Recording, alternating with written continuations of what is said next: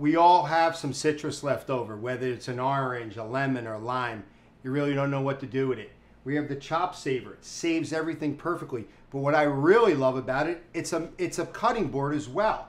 This is real, real fun to do. This is great for knives. It's not going to damage your knife. And if you're looking to make a few lemon wedges or something for a cocktail or a piece of fish, no problem. This is the cutting board as well. So you can take all your leftover limes, you can store them on here, but you can also cut them on here. You can put your citrus in here that's half cut. This would be the uh, lemon and the lime. Real, real easy to do. This just pops open like this. Easy for storage, dishwasher safe, absolutely beautiful. Just pop it up and there you go.